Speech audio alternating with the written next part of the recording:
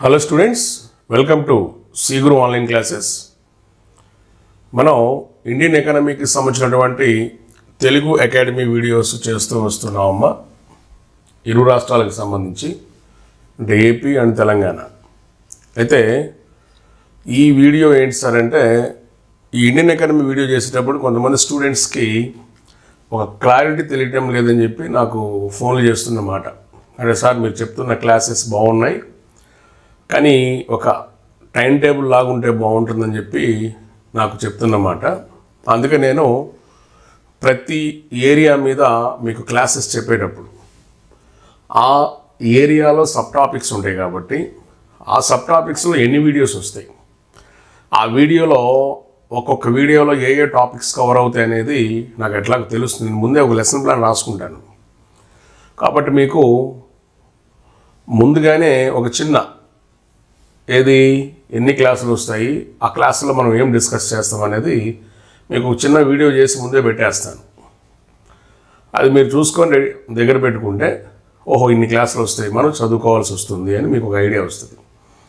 అంటే ఇప్పుడు మీకు చెప్తే మీకు అర్థమవుతుంది. సపోజ్ మనం వ్యవసాయం అనే టాపిక్లో ఉన్నాం. ఈ వ్యవసాయం అనేది మనకి మీ తెలుగు అకాడమీ పుస్తకంలో పదవ టాపిక్ నుంచి ఇరవయో టాపిక్. అంటే మెయిన్ ఇది ఒక యూనిట్గా మీరైతే ఊహించుకుంటే. అందులో మనకి ఇన్నున్నాయి మళ్ళా.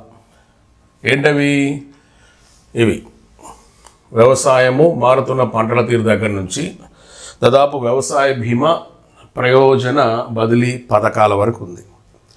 దీన్ని మనం ఏం చేసాం మళ్ళీ ఒక్కొక్క దాని గురించి చదువుకుంటూ వచ్చాం. ఇప్పుడు గత క్లాసుల్లో మీరు చూస్తే వ్యవసాయము మారుతున్న పంటల తీరు మీద కొన్ని క్లాసులు వచ్చాయి. అలానే వ్యవసాయ అభివృద్ధి వ్యూహాలు మార్పుల మీద కొన్ని క్లాసులు వచ్చాయి. మీరు చూసే ఉంటారు. ఇప్పుడు దీనికి గత క్లాసు వ్యవసాయ అభివృద్ధి పంట మార్పుల్లో హరిత విప్లవం తర్వాత అని నేను రెండవ హరిత విప్లవము అలానే జాతీయ రైతు కమిషన్ టూ థౌజండ్ ఫోర్ గురించిన వివరాలు అలా నిత్య హరిత విప్లవం ఇవన్నీ బేస్ చేసుకుని ఒక వీడియో. మళ్ళీ హరిత విప్లవం మీద ఒక వీడియో. హరిత విప్లవానికి ముందున్న ఒక వీడియో ఇట్లా చేసాం అయితే ఇక నుంచి నేను ఏం చేయబోతున్నాను సార్ అంటే ఇప్పుడు తర్వాత చెప్పుకోబోయే టాపిక్ ఏంటి మనం? భూ సంస్కరణలు. ఈ భూ సంస్కరణ టాపిక్ చెప్పబోయే ముందుగా ఇందులో ఎన్ని క్లాసులు వస్తాయి? అంటే ఇదిగోండి ఈ భూ సంస్కరణల మీద మీకు ఇచ్చినటువంటి మెయిన్ టైటిల్ ఏంటి సార్ అంటే భూ సంస్కరణలు చట్టాల అమలు లోపాలు.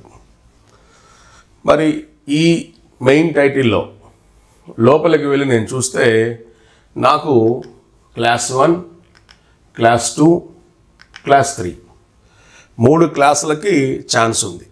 అంటే ఇక్కడ మీరు మూడు వీడియోస్ మూడు క్లాసులు మీరు ఎక్స్పెక్ట్ చేయొచ్చు. అంటే మీకు ఒక ఐడియా అనమాట ఆహా ఇన్ని వస్తాయి. కాబట్టి వీటి మీద మనం చదువుకోవచ్చు అనే ఒక ఐడియా మీకు ముందుగానే నేను ఇవ్వటం. ఇప్పుడు క్లాస్ వన్ తీసుకున్నాం అనుకోండి. ఈ క్లాస్ వన్లో నేను మీకు చెప్పబోయేది ఏంటి సార్ అంటే భూమి శిస్తు వసూలు పద్ధతులు. అంటే దేశవ్యాప్తంగా ఉన్నటువంటి ఈ జమీందారీ పద్ధతి శాశ్వత శిస్తు నిర్ణయ పద్ధతి మహల్వారీ పద్ధతి రైత్వారీ పద్ధతి ఇట్లాంటి పద్ధతులు ఉన్నాయి కదా. వీటన్నిటికీ సంబంధించినటువంటి వివరాలు ఇక్కడ మీరు చూస్తాడు అలానే భారతదేశంలో భూ సంస్కరణలు ఎందుకు చేయవలసి వచ్చింది అనే దాని మీద డిస్కస్ చేస్తున్నాడు సో ఈ రెండు అంశాలు మనం discuss చేసేటప్పటికే nearly forty to sixty minutes అవుతుంది కాబట్టి దీన్ని మనం ఒక క్లాస్గా మనం భావించవచ్చు. అందుకంటే ఎక్కువ మీరు చదివినా కానీ మీకు ఆన్లైన్ క్లాసెస్ కదండి కొంతమందికి నెట్ సరిపోకపోవటం ఒకటి కొంతమందికి ఆ నెట్ సరిపోకపోవటం పోగా పూర్తిగా నెట్ అయిపోతుంది. ఇబ్బంది అవుతుంది కాబట్టి ఇది సరిపోతుంది మనకి. క్లాస్ వన్ అంటే ఒక క్లాస్లో భూ సంస్కృతికి సంబంధించి దేశవ్యాప్తంగా ఉన్న భూస్వామ్య ఇది భూస్వామ్యం అంటున్న శిస్తు వసూలు పద్ధతులు. ఆ శిస్తు వసూలు చేయటం వల్ల భూమి ఏ విధంగా జనాల దగ్గరికి చేరింది అంటే పెద్ద పెద్ద ఆసాముల దగ్గరికి ఏ విధంగా చేరిందో మనకు తెలుస్తుంది కాబట్టి ఎందుకు మనం చేయాల్సి వచ్చిందనే దాని మీద ఒకటి. ఇంకా సెకండ్ క్లాస్కి వచ్చేటప్పటికి దీంట్లో భూ సంస్కరణలో సెకండ్ క్లాస్కి వచ్చేటప్పటికి భూ సంస్కరణ చట్టాలు. అంటే ఏ విధంగా చేశారు? దాంట్లో మళ్ళీ దశలు ఉన్నాయి. ఈ దశల్లో ఏంటి? ద ఫస్ట్ వన్ మధ్యవర్తులను ఏ విధంగా తొలగించాలి? తొలగించడం కోసం ప్రభుత్వం చేసినటువంటి సిఫారసులు ఏమిటి? అదే మధ్యవర్తుల తొలగింపు. ఈ మధ్యవర్తులు తొలగింపు చేసే క్రమంలో పెద్ద పెద్ద జమీందారులు భూస్వాములు తొలగించడం అంటే ఆ తొలగించడం వల్ల నీకు వచ్చే నష్టమేం లేదు. కానీ ఈ పాపం పుణ్యం అంతా ఎక్కడుంటుంది? టెనెంట్స్ అంటే కౌలుదారులకు సంబంధించి ఉంటుంది. ఈ క్రమంలో కౌలుదారులు ప్రమాదంలో పడ్డ సందర్భాలు ఉన్నాయి. అలానే కౌలుదారులని రక్షించాల్సినటువంటి అవసరం కూడా కేంద్రానికి ఉంది కాబట్టి ఈ కౌలుదారులకు సంబంధించినటువంటి ఆ రక్షణ చట్టాలు అంటే మనం జిరాయితీ హక్కు అంటే ఏంటి? లేదా షక్మిదార్ అంటే ఏంటి? ఆసామి షక్మిదార్ అంటే ఏంటి? లక్కరా సుబ్బారావు కమిటీ భరూచ కమిటీ ఇట్లాంటి అంశాల గురించి రాష్ట్రాల వారీగా మనం చదువుకుంటాం. ఈ క్రమంలో కౌలుదారుల్ని కాపాడటానికి ఇదిగోండి కౌలు పరిమాణము కౌలు భద్రత కౌలుదారులకు యాజమాన్య హక్కులు అనే దాని మీద డిస్కషన్ ఇచ్చాడు. ఏమ్మా అంటే ఇక్కడ నువ్వు చదవాల్సిన అంశాల మీద మీకు ఒక ఐడియా అనమాట కౌలుదారుల సం అలానే భూగమతాలపై గరిష్ట పరిమితి ఏ విధంగా నిర్ణయించాలి? గరిష్ట పరిమితి నిర్ణయించిన తర్వాత కొంత ల్యాండ్ అనేది గరిష్ట పరిమితి ఉన్నప్పుడు ఇప్పుడు ఒక వ్యక్తికి ఒక ఐదు వేల ఎకరాలు ఉందనుకున్నాం ఏదో చట్ట ప్రకారము ఒక వంద ఎకరాలు రెండు ఎకరా రెండు వందల ఎకరాలు గరిష్ట పరిమితి వచ్చేసింది. మిగతాదంతా ఏంటి? గవర్నమెంట్ తీసుకున్నట్టే కదా. ఆ తీసుకోవడం పేరేంటి? కమతాల సమీకరణ. ఎందుకంటే మన వ్యవసాయంలో సపరేట్ టాపిక్ ఉంటుంది ల్యాండ్ హోల్డింగ్ అని. ఓకే. ఆ ల్యాండ్ హోల్డింగ్ అనేది ఒక ఎత్తు అయితే ఇక్కడ మనం లాక్కోవటం ఆచార్య వినోబా భావే చేసినటువంటి భూదహన ఉద్యమం దగ్గర నుంచి ఏ విధంగా కమతాల సమీకరణ జరిగింది మన టార్గెట్ ఏంటి మనం ఎంత తీసుకున్నాము ఇందులో భాగంగా ఎంత తీసుకున్నాము. ఆ తీసుకున్న దాన్ని మనం ఏమని పిలుస్తున్నాం? మిగులు భూమి అంటున్నాం. ఈ మిగులు భూమిని ఎస్సీలకు కానీ ఎస్టీలకు కానీ బీసీలకు కానీ మహిళలకు కానీ ఏ విధంగా పంచాము అనే దాని మీద చాలా నీట్గా డిస్కస్ చేసింది పుస్తకంలో. సో ఈ అంశాలు మొత్తం డిస్కస్ చేసేటప్పటికి మనకి ఒక గంట పడుతుంది. అది క్లాస్ టూ. రెండవ క్లాస్లో నేను డిస్కస్ చేయబోయే అంశాలు. అంటే ఏం లేదు. ఏ వీడియోస్ మనం చెప్పుకోబోతున్నాం అనేది మీకు ముందుగా ఒక హింట్ అనమాట దీనివల్ల మీకేంటి? ఒక అవగాహన వస్తుంది కాబట్టి యూ కెన్ మేనేజ్ మీకంటూ ఒక సెంట్రల్ ఐడియా స్టార్ట్ అవుతుంది కాబట్టి కొద్దిగా ఈజీగా అనిపిస్తుంది. Next class three. మూడవ క్లాస్ విషయానికి వచ్చినప్పటికీ ఇక్కడ దాదాపు చాలా అంశాలు ఉన్నాయి. చూడటానికి సంఖ్యాపరంగా చాలా ఉన్నాయి కానీ బ్రీఫింగ్ అనమాట అయితే ఈ బ్రీఫింగ్లో ఇదిగోండి మన ఏపీకి సంబంధించి మన తెలంగాణకు సంబంధించినటువంటి ఇటీవల అంశాలు కూడా మనకి తెలుగు అకాడమీలో పేర్కొనడం జరిగింది. ఏంటి? ఆంధ్రప్రదేశ్లో ఉన్నటువంటి బూధార్ అనే అప్లికేషన్ గురించి తెలంగాణలో ఉన్నటువంటి ధరణి అనే అప్లికేషన్ ఉంది. ఇది పక్కా కరెంట్ డేటా. పూర్తిగా ఈ కరెంట్ డేటాను బేస్ చేసుకొని ఈ వీడియో మనకు నడుస్తుంది. ఏదన్నా ఛాన్సెస్ ఉంటే ఇంకా కరెంట్ ఏరియా ఏదైనా ఉంటే I will explain to you. ఏమున్నాయో ఒకసారి చూడండి. భూకమ్మతాలు అంటే భూ పంపిణీ చేసిన తర్వాత కూడా ఇంకా సమాజంలో ఉన్నటువంటి ఇనీక్వాలిటీస్ అసమానతలు ఏ విధంగా ఉన్నాయి అనే దాని మీద ఒక చిన్న చర్చ ఉంది. దాన్ని భూ రెవెన్యూ రికార్డ్ మనం అడంగల్ పహాని అని పిలుస్తూ ఉంటాం. వాటి సంబంధించిన స్టేటస్ ఏంటి? వాటిని ఏ విధంగా నవీనీకరణ అంటే కంప్యూటరైజేషన్ ఏ విధంగా చేశారు అనే దాని మీద ఇచ్చాడు. అలానే యాక్చువల్గా భూ సంస్కరణలకు సంబంధించినటువంటి భూసేకరణ చట్టం ఎయిటీన్ నైంటీ ఫోర్ ఉంది. ఎయిటీన్ నైంటీ ఫోర్ని తర్వాత తర్వాత తర్వాత కాలంలో ఏంటి? సవరించారు. ఈ సవరించిన తర్వాత తీసుకొచ్చినటువంటి చట్టాలకు సంబంధించినటువంటి అంశం ఇది. భూ సంస్కరణ చట్టం రెండు వేల పదమూడు. యాక్చువల్ పన్నెండులో మనకి చట్టం మారుతుంది. ఆ ముసాయిదా ఏముంది అనేది మనం ఒకసారి చూద్దాం. అలానే ఇలా భూమిని సంస్కరించేటప్పుడు నష్టపోయిన వ్యక్తులు కావచ్చు లేకపోతే చర్చలోకి వచ్చిన వ్యక్తులు కావచ్చు ఏమ్మా? గిరిజనులు. అలానే ప్రభుత్వ భూమి సమాజంలో ఉన్న ఆస్తి వనరులు ఏంటి? అలానే గిరిజనులతో పాటు మహిళలకు సంబంధించినటువంటి భూ హక్కులు ఏ విధంగా గవర్నమెంట్ ప్రస్తావించింది? మహిళలకు ఏమైనా ప్రాధాన్యత పెంచిందా తగ్గించిందా? ఇప్పుడు వైఎస్ రాజశేఖర రెడ్డి గారు ఉన్నప్పుడు ఉమ్మడి ఆంధ్రప్రదేశ్ ఉంది. భూ పంపిణీ చేసేటప్పుడు ఆయన ఖచ్చితంగా ఏం చేశాడు? మహిళల పేరు మీదనే మహిళల పేరు మీదనే భూమిని పంపిణీ చేయడానికి ప్రయత్నం చేశాడు. పంపిణీ చేశాడు కూడా. ఈ క్రమంలో గిరిజన హక్కులు ఏ విధంగా గుర్తించబడ్డాయి? గిరిజనుల కోసం చేసినటువంటి చట్టాలు ఏమైనా ఉన్నాయా? Regulation one of nineteen seventy act అని ఒకటి ఉంది.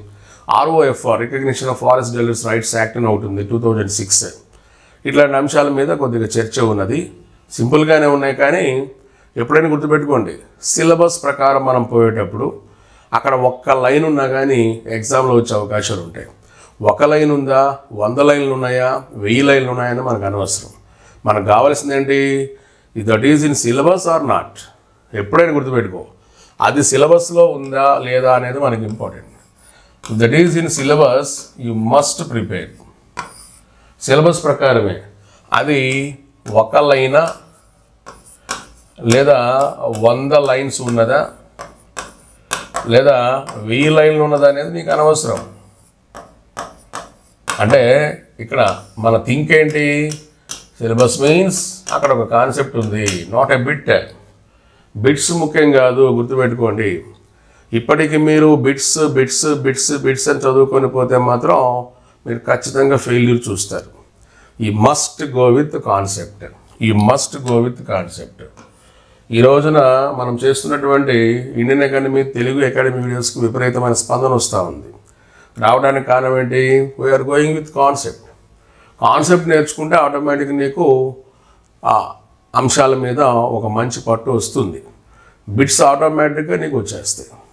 ఓకేనా? సో మీకు మనసులో మీరు టీఎస్పిఎస్సి రాస్తున్నారా? ఏపీపీఎస్సి రాస్తున్నారా? లేదా యూపీఎస్సి రాస్తున్నారా? అది మీ ఇష్టం. బట్ దేనికైనా సరే అందులో ఒక ఎగ్జామ్ అది గ్రూప్ వన్నా గ్రూప్ టూనా గ్రూప్ త్రీనా గ్రూప్ ఫోరా whatever it may be ఒక సిలబస్ ప్రకారం ఉంటుంది కాబట్టి ప్లీజ్ గో విత్ సిలబస్ ఈ సిలబస్ ప్రకారం పోయినప్పుడు ఆ సిలబస్లో ఉన్నటువంటి ఒక సబ్ టాపిక్లో ఒక లైన్ డేటా నీకు దొరకవచ్చు లేదా వెయ్యి లైన్ల డేటా కూడా నీకు దొరకవచ్చు. దాన్ని బేస్ చేసుకొని మనం వర్కౌట్ చేసుకొని పోవాలి. అట్లా చేస్తుందే మనకి ఇట్లా. ఓకే. అలానే భూ సంస్కరణ చట్టాలు భారతదేశంలో ఏ విధంగా ఉన్నాయో ఏపీలో ఏ విధంగా అమలయ్యాయి? నైన్టీన్ సెవెంటీ త్రీ తెలంగాణ వ్యక్తిమైనా సరే సెవెంటీ త్రీ అంటే కలిసే ఉన్నాం కాబట్టి చదువుకోవాల్సిందే. భూగరిష్ట పరిమితి చట్టాలు మనకి రెండు ఉన్నాయి కదండి. సిక్స్టీ వన్ యాభై ఎనిమిది అరవై ఒకటి ఒకటి ఉంది. డెబ్భై మూడు డెబ్భై ఐదు ఒకటి ఉంది. అది మనకి డెబ్భై మూడుది ఇచ్చాడు దాన్నే వ్యవసాయ కమతాలపై గరిష్ట పరిమితి చట్టంగా మనం పిలిచాం. అక్కడ నీకు మాగాని మ్యాక్సిమం ఎంతవరకు వెళ్ళిపోయింది సార్ అంటే ఒక పద్దెనిమిది ఇరవై ఏడు ఎకరాల వరకు వెళ్ళిపోయింది. మెట్ట భూమి యాభై నాలుగు వరకు ఎకరాల వరకు వెళ్ళిపోయింది. ఎలా వెళ్ళింది ఏంటనేది మనం చూద్దాం. అలానే భూ సంస్కరణలు అమలు చేసేటప్పుడు ఏమైనా వైఫల్యాలు ఏమైనా జరిగాయా? అంటే ఏంటి? ఎక్కడైనా మెరిట్తో పాటు డిమెరిట్ ఉంటుంది. ఈ మెరిట్తో పాటు డిమెరిట్ ఏమున్నది అనే దాని గురించిన వివరాలు అలానే అందులో ఉన్నటువంటి లోపాలు. ఈ లోపాలు ఏ విధంగా ఉన్నాయి? వాటి గురించినటువంటి వివరణ. సో ఈ అంశాలకు సంబంధించి ఒక క్లాస్ మనం రన్ చేస్తాం. కొద్దిగా దీనిలో కరెంట్ యాసెట్స్ ఉన్నట్టు ఉంటుంది కాబట్టి ఇది క్లాస్ త్రీ కాబట్టి మొత్తం మీకు భూ సంస్కరణ అనే దాని మీద మూడు క్లాసులు మనకి రన్ అవుతాయి. ఏమ్మా? మూడు క్లాసులు. మీకు ఇంకా ఓపిక ఉంటే ఏమ్మా?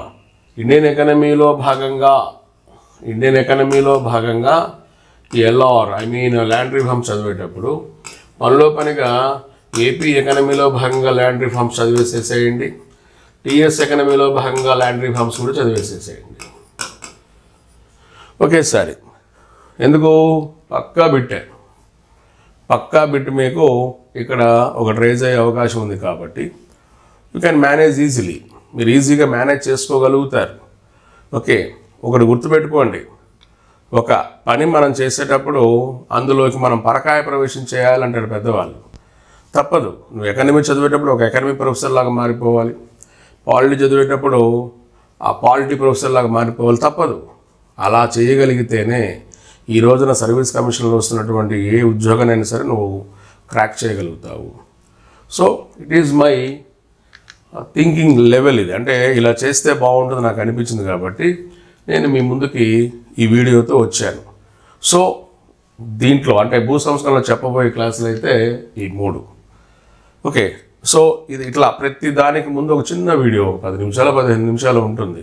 ఏం చదవబోతున్నామని మనకు తెలుస్తుంది కాబట్టి. చదివేటప్పుడు మీకు ఒక సెంట్లేడు ఓహో ఇందులో ఈ క్లాసులు ఉన్నాయి ఈ క్లాసులు ఉన్నాయి ఈ క్లాసులు ఉన్నాయని మీకు తెలుస్తుంది. ఓకేనా సో మొత్తం ఎన్ని?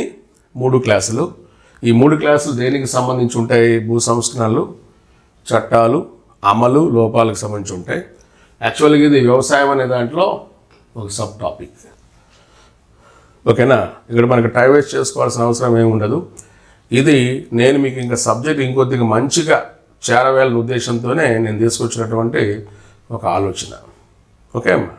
ఇది పెట్టిన తర్వాత మీకు వన్ డేలో ఆర్ టూ డేస్లో ఈ త్రీ వీడియోస్ వచ్చి మీకు యాడ్ అయిపోతాయి. ఓకే అమ్మా? నెక్స్ట్ మనం ఇంకొక దాంట్లో మళ్ళీ మనం కలుసుకుందాం. Okay? Thank you thank you so much